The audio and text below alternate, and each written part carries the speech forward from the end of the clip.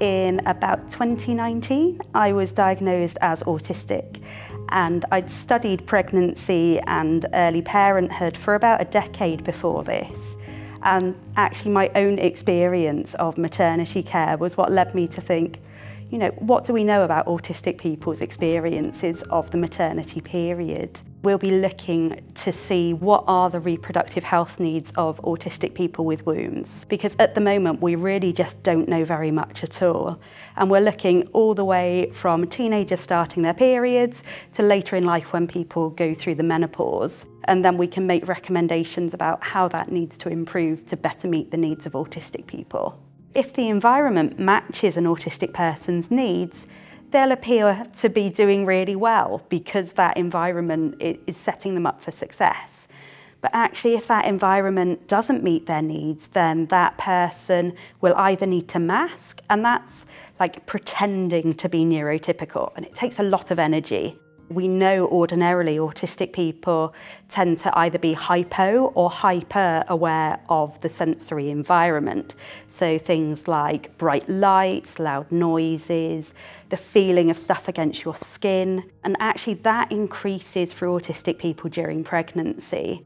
We also know that pain is inadequately treated by health professionals in autistic people. It's pretty hard to communicate when you're in labour anyway, let alone if you're then being told you have to change the way you fundamentally communicate your experiences while going through that. But providing healthcare providers with the tools to actually be able to care for their autistic patients in a, an appropriate manner, to be able to perhaps change the way they communicate with people who perhaps don't know that they're autistic. You know, so many autistic mothers are not diagnosed until their children are diagnosed. So when going through that sort of maternity process, being able to sort of not have to rely on that disclosure of a diagnosis, for example, and just say, you know, some people might need X, Y, and Z communicated to them.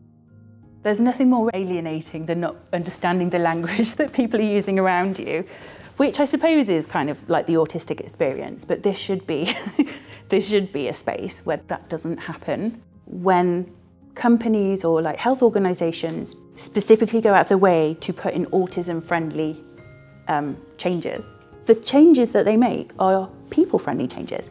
They actually benefit everyone. And I think there's lots that people can learn uh, from us.